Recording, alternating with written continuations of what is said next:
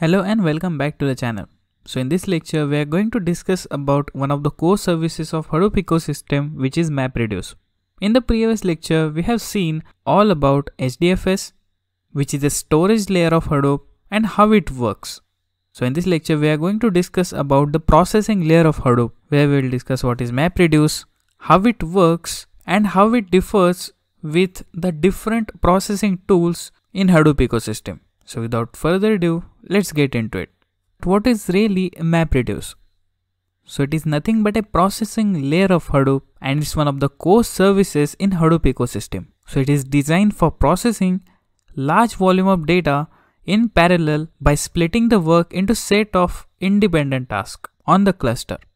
So you just need to put some logic in a way MapReduce works and rest things will be handled by your framework.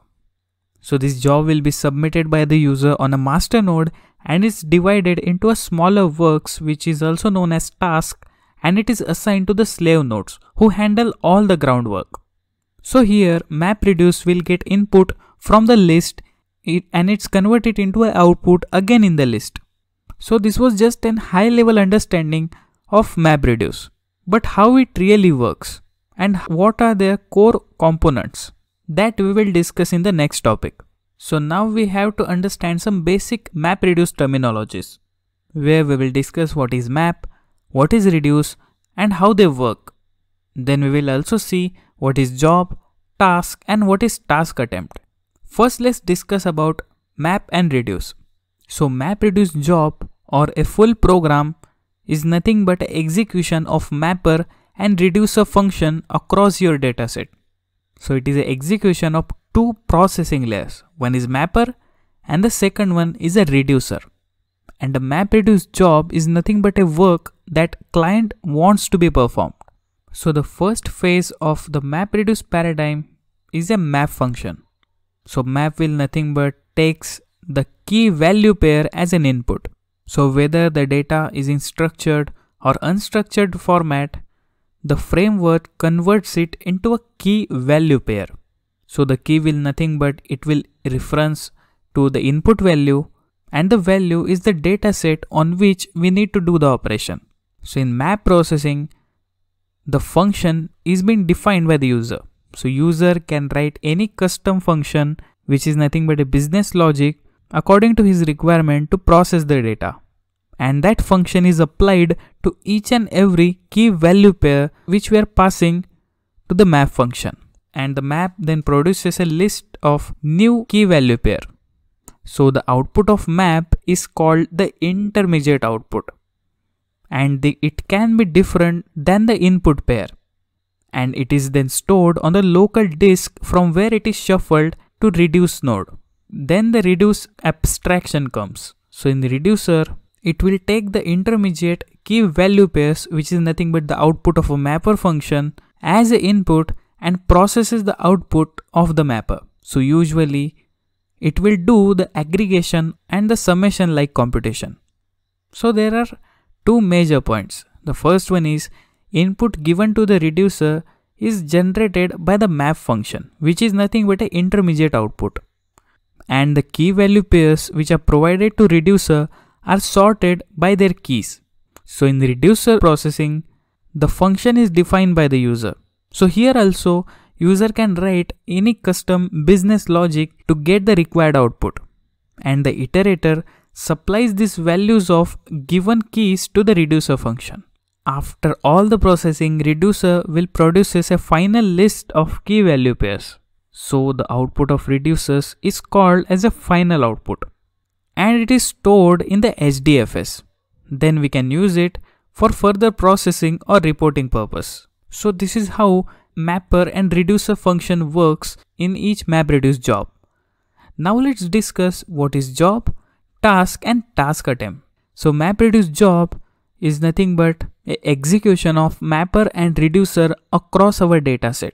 In other words, it's, it is just execution of two processing layers, mapper and reducer that we have just discussed. The next one is a task.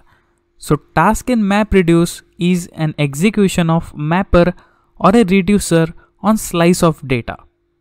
So it is also known as task in progress, which means processing of data is in progress either on a mapper or a reducer. And last one is a task attempt.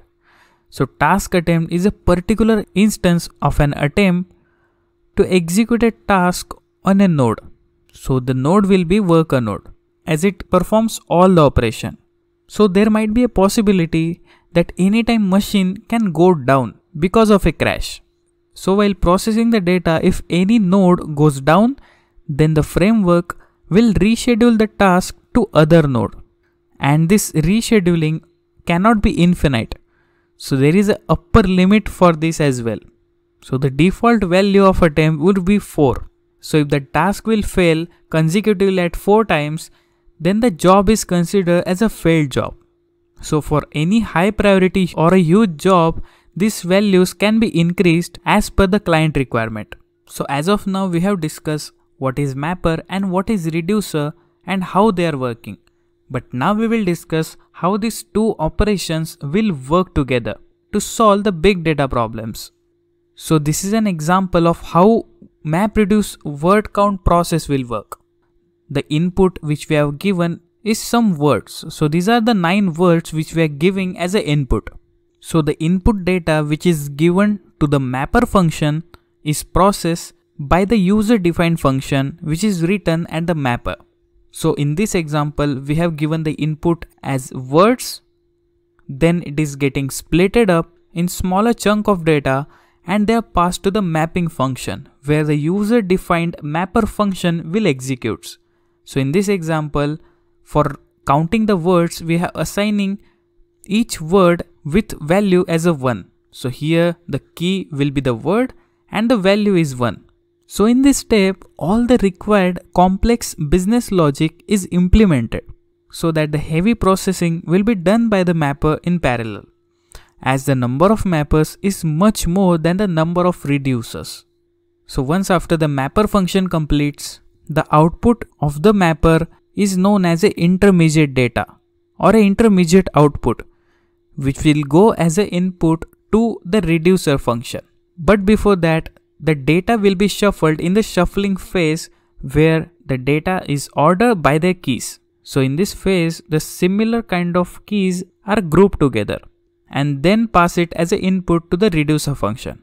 So here, the beer, car, deer and river, all these four words are grouped together. So the intermediate result from the mapper function will be then processed by the reducer function and final output is generated. So here aggregation will be done. So it will count the instances of each word. So in this case, it will give the output as the word and the number of time it occurs in the list of words. So here we have provided the list of words and we're getting the output as the word and how many times it occurred in that list and then we get the final results which is then stored in the HDFS and also the replication will be done as we have seen in the previous lecture.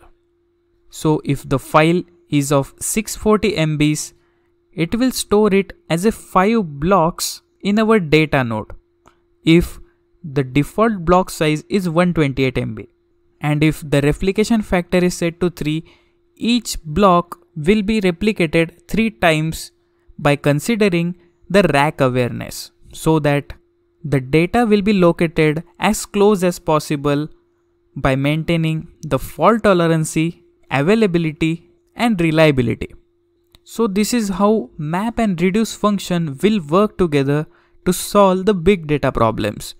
So this is just a simple example but when we get our hands dirty on our HDP cluster, we will take some complicated example so you'll get a better understanding on how this map reduce function will work.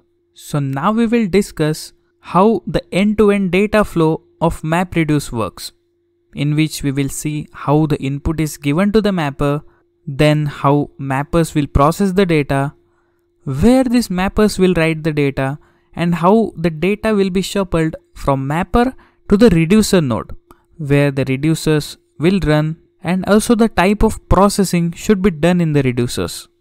As you can see in this diagram, these three rectangles are nothing but the slave nodes.